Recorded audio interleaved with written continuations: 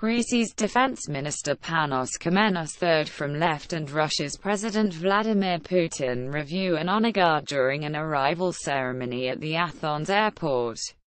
Alexei Druzhinin Alexei Druzhinin TASS Athens, a brass band played, fighter jets streaked the clear blue sky and a red carpet adorned the airport tarmac on the day in May 2016 when Vladimir Putin came to Athens for a visit Mr.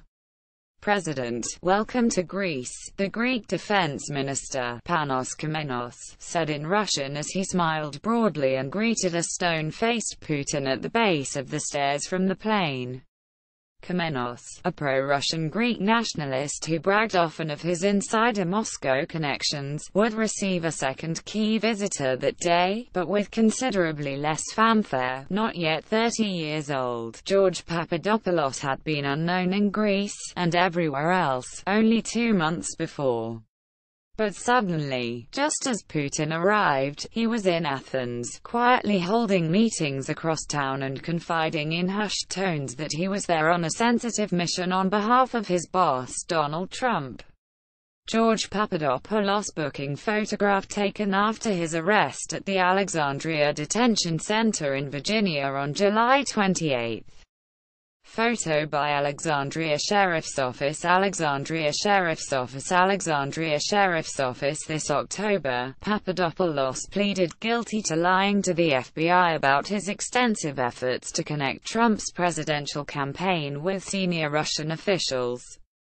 Trump has since dismissed Papadopoulos as a low-level volunteer, but in his ancestral homeland, the man whom Trump had named in March 2016 as one of five top foreign policy advisors and an excellent guy, was regarded as a critical interlocutor, first to the Trump campaign and later to the incoming Trump White House.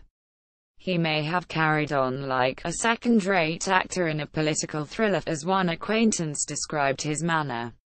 But when he bragged that he had helped Trump win the presidency, many here believed it. Before his spectacular fall, he was lavishly wined and dined by local business kingpins, celebrated in official tweets and rewarded with a perks, judge in an island beauty contest, of a favorite Greek son. He also received access to officials at the highest levels of the Greek government, many of whom shared links to Russia and sympathies that would be unusual in other Western capitals. Kammenos, in particular, stood out both for his pro-Russian views and his determination to forge a bond with a young Trump advisor. Although Papadopoulos' plea deal focused on his contacts with an obscure and mysterious Maltese professor who claimed Russian ties, Greek politicians and analysts say his best and most obvious path to Moscow would have run through Athens. If I were in his shoes, I would have thought, can my Greek friends help me make the Moscow connection, said Thanos Dokos, Director General of the Hellenic Foundation for European and Foreign Policy. It would make sense. Whether that's how it happened may be a subject for special counsel Robert S. Mueller III, who continues to investigate possible collusion between the Trump campaign and the Russian government to influence last year's presidential election. Former National Security Advisor Michael Flinsdeck one guilty plea, also for lying to the FBI, about Russia, suggests that Mueller is looking at an array of possibilities. But in Greece, the connection between the officials Papadopoulos cultivated and his vigorously pursued campaign objective to build up relations with the Kremlin, and ideally broker a meeting between Putin and Trump is hard to miss. The son of Greek immigrants who was raised in Chicago, Papadopoulos had a thin resume that was full of exaggerations, including a non-existent stint at Model United Nations. But during a meeting with the Washington Post's editorial board in March 2016, Trump named him as one of five foreign policy advisors. At the time, the Republican frontrunner had been largely abandoned by the party's foreign policy establishment and was under pressure to produce his team, having previously said his top foreign policy advisor was myself. Even in the relatively intimate world of Greek and Greek-American international relations experts, Papadopoulos was a mystery. The few who had met him said he was earnest, he showed up to casual get-togethers in suit and tie, unambitious. His aim, he told associates, was to get a job on a U.S. presidential campaign and to work in the White House. But he was also very green. Dokos, who heads one of the most prominent Greek foreign policy think tanks, said he met Papadopoulos because he was the assistant to a researcher with the Washington-based Hudson Institute who was conducting interviews in Athens.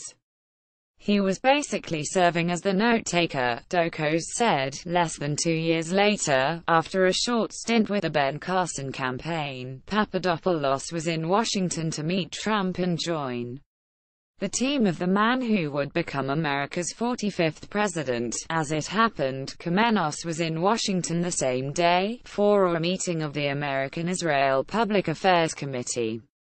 The Greek defense minister had largely been shunned by the Obama White House for his bombastic rhetoric. He once threatened to unleash a wave of jihadists on Berlin if the European Union did not back off its austerity demands, and for his Moscow links. Throughout the worst of Greece's economic crisis, Kammenos had been outspoken in arguing that the country could pivot to Russia for help if negotiations with Europe turned sour. He also pushed for an end to sanctions imposed on Russia, championed a plan for Russia and Greece to jointly manufacture Kalashnikov assault rifles and befriended a number of influential Moscow players, including the wealthy Greek-Russian businessman and politician Ivan Savvidis. He's been one of the strongest Putin supporters in Greece, said Adonis Georgiadis, vice president of Greece's centre-right New Democracy Party. Greece, an EU and NATO member, has a long-standing strain of its geopolitics that looks east to Russia rather than to the west, but Kammenos, leader of the right-wing independent Greeks, was also eager to improve his ties to Washington perhaps sensing that would be unlikely under a President Hillary Clinton, he became one of the few senior government ministers in Europe to enthusiastically back Trump, and that support extended to Papadopoulos, whom Kammenos publicly embraced on social media and introduced around town during late spring 2016. Papadopoulos was totally unknown. But then Kammenos took him by the hand and promoted him everywhere. Georgiadis said. In short order, Papadopoulos had soon had meetings not only with the defense minister, but also with Greece's foreign minister, its president and a former prime minister, a remarkable level of access for such a young aide. All are considered relatively pro-Russian. At the time of the meetings, internal Trump campaign documents show that Papadopoulos was working aggressively to connect with senior Russian officials and was hoping to broker a meeting between Putin and Trump. It is not known whether Papadopoulos met any members of Putin's entourage in May 2016, when both were in Athens and the president was accompanied by his foreign minister, plus state oil and gas executives. But Georgiadis said he believed that Kammenos would have been able to put the two sides in touch, and had good reason to do so. He would have wanted to show Papadopoulos that he had good ties with the Russians and he would have wanted to show the Russians that he had good contacts with the Americans. Georgiadis said, Kammenos did not respond to requests to be interviewed for this article. Attorneys for Papadopoulos said they would not comment on his meetings with Greek officials. Others who met with Papadopoulos around that time described him as acting as though he were on a secret mission, refusing to confirm the location of meetings until half an hour before they began. Every so often, he would lower his voice so as not to be overheard or drop hints of major contacts. Alexis Papachelas, editor of the well-regarded Greek daily Kathimerini, later wrote of his meeting with Papadopoulos. Kammenos was not Papadopoulos's only important link to Greek power circles. Soon after Papadopoulos was named to Trump's campaign, he reached out to the Rev. Alex Karloutsos, a senior official with the Greek Orthodox Archdiocese of America and an influential player in the Greek-American community, Karloutsos, who said he has visited the Oval Office under every president since Jimmy Carter, helped Papadopoulos make some early contacts in Greece, but he soon noticed that the young advisor was prone to exaggerating his own importance as a conduit to Trump. He was also troubled by Papadopoulos's reaction to his swift transformation from an outsider hungering for insider connections to a player the insiders all wanted to know. Papadopoulos, Karloutsos said, lapped up the perks of being romanced by the Greek business and political elite. He was caught up in the euphoria. No one knew me, then everybody knew me. Karloutsos said. He loved being in the limelight. The glare grew many times brighter after Trump's surprise victory. Within hours Kammenos tweeted his congratulations to the president-elect, along with a picture of Papadopoulos and a note saying the young Greek-American was now important for Greece.